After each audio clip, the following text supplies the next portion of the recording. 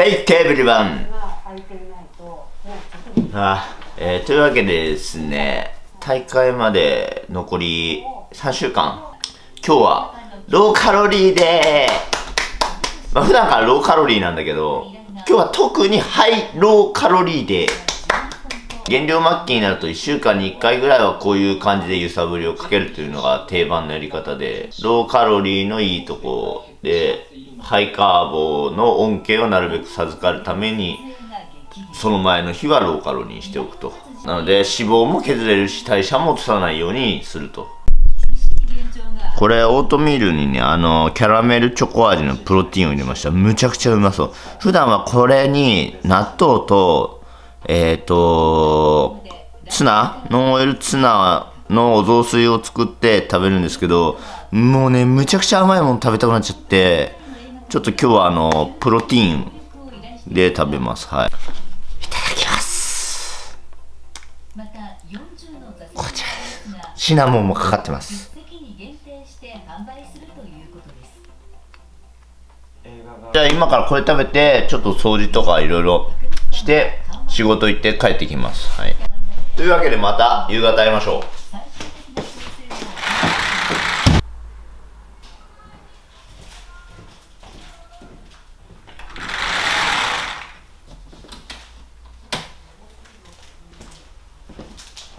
あの、FWJ に登録すると多分全員がもらえると思うんですけど、フィットネスワールドっていう雑誌がポストに入ってました。なんかテンション上がる。で、僕はあの、帰ってきたらもうすぐ筋トレしますね。うん。で、筋トレ前にいろんなサプリ飲むんだけど、まあ BCA とかグルタミンとかも当たり前なんですけど、みんなにちょっと紹介しておきたいのが、まあお酢ですね。リンゴ酢と塩。塩をですね、まあ若干 10g ぐらいかな。まあ入れてますと。ね。こうするとね、結構パンプする。で、お酢を取ってる理由っていうのは、まあ炭水化物があまりにも足りないということで、あの、疲労回復のために、まあ飲んでます。はい、今日はベンチプレスからやります。あと、懸垂ですね。ベンチプレスと懸垂の、まあスーパーセットでやっていこうかなと思います。で、あの、今日はね、あの、1種目ずつしかやらないです。うん。こういうカロリーを低めに設定してる日っていうのは脂肪がとにかく燃焼しやすい状態になってる。でもそれだけだと燃焼はしないと思ってるんですよ。ここにしっかり有酸素運動を入れてあげないとダメだと思ってるんで。で、1日に時間は限られてます。なので、そういうローカロリーの日は、まあ、筋トレよりちょっと有酸素に重きを置いて、筋トレをちょっと早めに終わらして、ね、あの、胸と背中だけ1種目ずつやって、有酸素を長めにやると。普段は20分ぐらいなんですけどね、トレーニング後は。長めに今日はやると。OK。85キロで何回できるかっていうのを今日はやります。10回上がればいいね。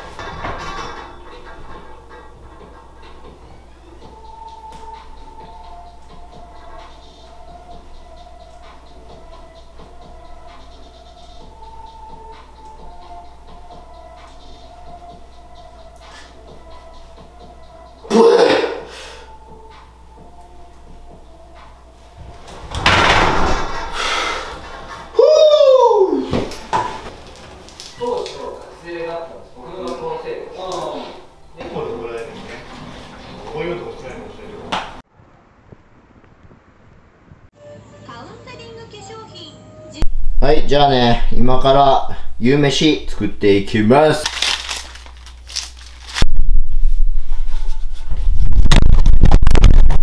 ぶな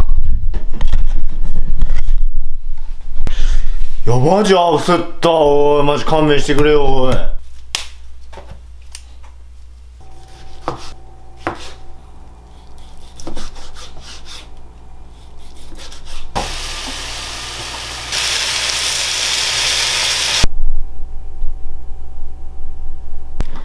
ああもうねマジで腹減った。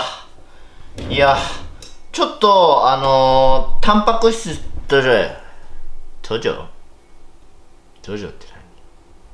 タンパク質と脂質はちょっと高めにしてます。いつもより。で野菜もいつもよりはちょっと多め。なんでかっていうと炭水化物抜くからっていう理由です。じゃあ胸肉。うん。うまっ。トレーニーのペット特集って。みんなめっちゃ動物飼っとるな。一流トップフィジーカーとかボディービルダーとかみんななんか飼ってるね。ああシャシャシャシャシャシャシャシャシャあシャシャシャシャシャシャシャシャシャシャまあもう寝ます朝起きたらすぐえー、B2CLA カルニチン飲んで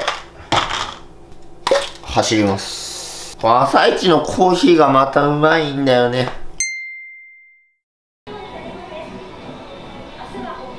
怖いんですけど一応今日はハイカーブを入れようかなって思ってます。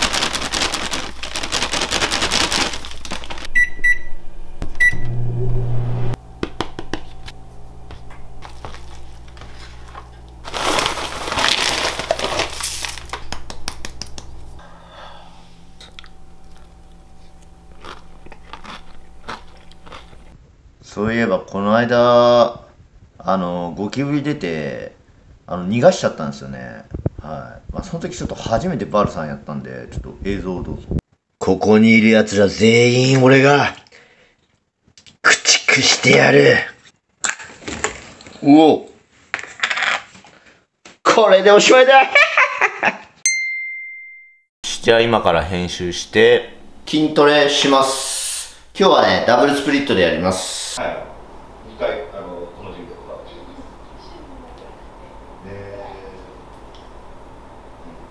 結構別世一番長かったのは1年。1ヶ月とか2週間。とかね、怒る裏のことがそういうこともあったりするから、ぜひ、はい。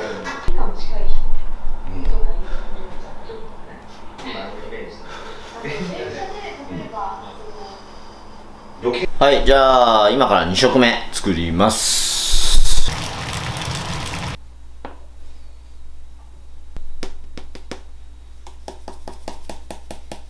もうね、大体、あの、マジカルソルトをかけとけば間違いなくうまいっす。で、タンパク質は、あの、若干ね、低めにしてます。炭水化物めちゃくちゃ取ってるんで。じゃあ、いただきます。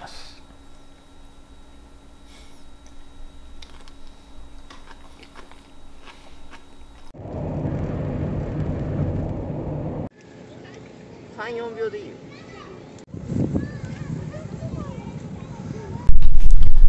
はい、じゃあトレーニング前ということで、えー、今から餅2個と今日の朝食べてたフレークでカーブを取っていこうと思います。蜂蜜、餅、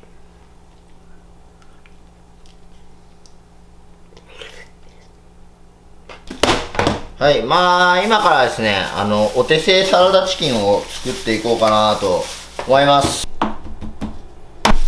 はい。そしたらですね、自分のお好きなグラムを入れていきます。自分は150グラム食べたいので、まあ、150入れます。はい。まあ、こんな感じでちょっと意味わかんないことになってるんですけど、で、ここに入れていくもんなんですけど、塩と砂糖、であとみりんですね。ニンニクと焼肉のタレを放り込みます。まあ、こんな感じで。一応これで、あのー平日の1週間分の、えー、と仕込みは、あのー完成です。まあ、正直ね、こんなことしなくてもいいんですけど、まあ、こうやって仕分けと、グラムで仕分けるついでにっていう感じ。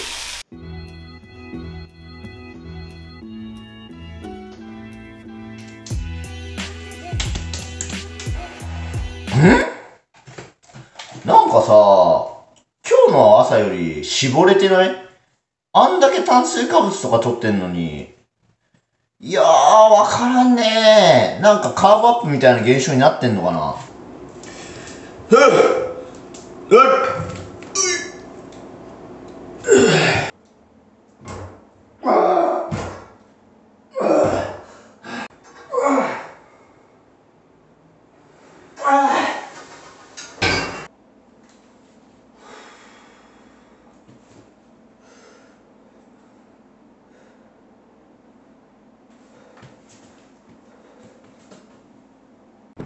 はい。じゃあね、これが今日最後の、えー、食事になります。えー、胸肉 150g、ブロッコリーサラダ、餅が4個ですね。はい。はい。これを食べたらですね、明日からまた地獄が始まるので、味わって食べていこうと思います。で餅は、こんな感じで、ポン出しに入れた醤油つけて、海苔巻いて、まあ2個ほど食べて、残り2個はまた蜂蜜かけてデザート風に食べていこうかなって思ってます。うまっ今、8時ぐらいなんですけど、これからちょっと日サロ行こうと思います。昼間も日焼けしたんですけど、まあやっぱ日サロ行っといた方がいいですね。色がなかなか入んないんで、うん。日焼けもね、ダブルスプリット。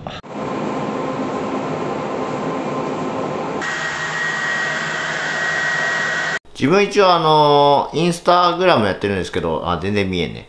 インスタグラムやってるんですけど、最近はね、1週間に1回、あの投稿して自分の体をね、あの晒してるわけなんですけど、えー、まあ大会も近いということで、本当ありがとうございます。励ましのコメントをいただきます。やっぱり自分、すごい人見知りで、ホームジムも作っちゃったので、もうほとんどね、人見知りの性格も相まってか、人とね、こう、ゴートレしたりとか、あんまそういう機会ないんですよ。で、僕自分からそういうアタックとかもしないですし、だからこうこういう SNS を通じて、あの、発信していく中で、こう、コメントくれたりとか、DM してきてくれたりとか、あとは、ちょっと申し訳ないんですけど、あの、他の YouTuber の方とかから、コラボしましょうよ、みたいな、あの DM もらうんですけど、あのまあ、こういうご時世もあり、そして自分がまあ、こっちの方がでかい